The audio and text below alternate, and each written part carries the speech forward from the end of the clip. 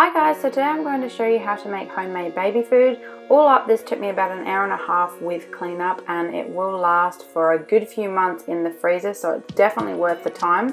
So the ingredients that I'm using today are going to be butternut squash or butternut pumpkin, some sweet potato, carrot, zucchini and apple. All these ingredients are really good for your infant when they're just starting out on solids so I highly recommend starting on these. So I'll jump right in and show you how to do it. First you're going to need some boiling water with a steamer on top and place your peeled chopped carrot in the top and also your peeled chopped zucchini in there as well. I'm going to show you this method on how to do it all at once so that you can get everything cooking all at once and it's very quick to do. Next you'll need to peel and dice the apples and place those into their own small pot of boiling water. Set your oven on fan force and 200 degrees and preheat ready for your pumpkin and sweet potato.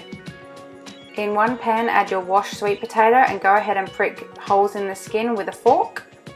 Remove the seeds and gunk from your butternut pumpkin and you want to put a small thin layer of water in one tray and place the butternut pumpkin face down into the water.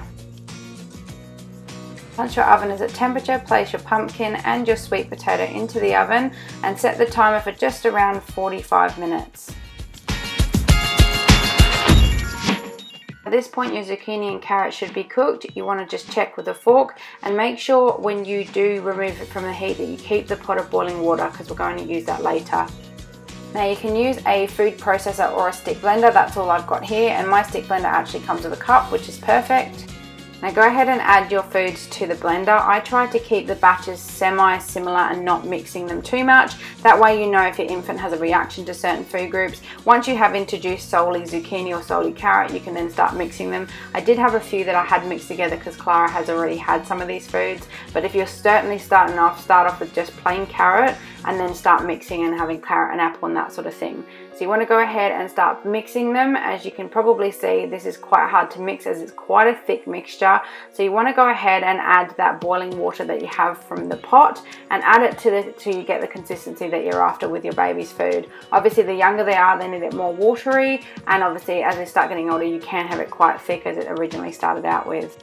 I picked up these awesome baby food trays that come with lids, but you don't have to get specifically baby food trays. You can just get a nice tray as long as it has a lid, or if not, just use Glad wrap over them just so the food doesn't spoil in the freezer. Grab your blended food and put it into these ice trays. Just be careful that you don't overfill it because it becomes really difficult at the end when they're frozen. With my first batch of zucchini and carrot done, I'm now just doing straight carrot.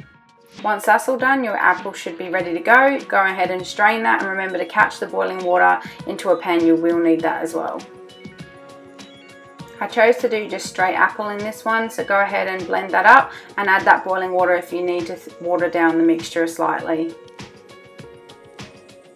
So once all that's done, this is what they should look like. Go ahead and place lids on them or glad wrap if you don't have lids and then place them into your freezer. I just found it was best to do it overnight, so if you can leave them in there overnight, do so.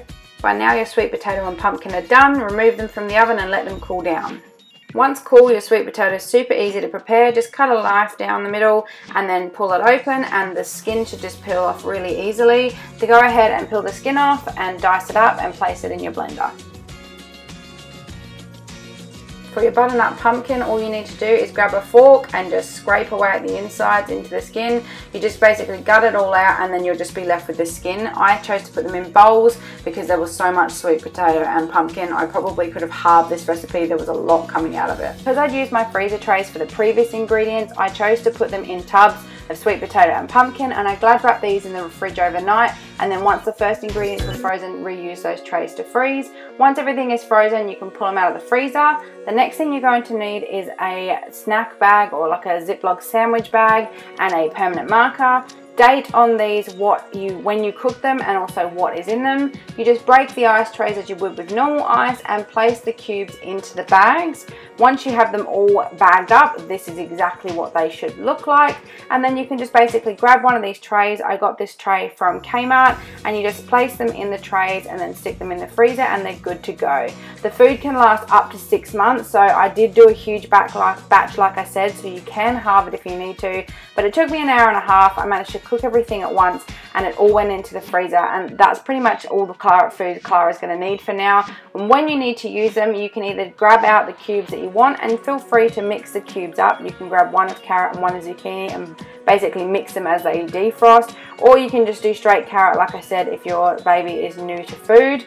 But that is it you just warm it up or you can leave it in the refrigerator and let it defrost overnight. But that is how I have done our baby food. It has saved a bunch of money. I think I spent a total of maybe eight or ten dollars on the ingredients max on that. It's an hour and a half worth of prep and you save so much money and time and at least you know what is in the food that your baby is going to eat. I highly recommend doing this method. If you like this video, please give it a thumbs up and I'll catch you guys in my next video. Thanks, bye. Them, and I think this was 6 to 36 months, so something small. Like I said, I didn't want to get her heaps of toys because there's plenty that Hazel has passed down to her. But I thought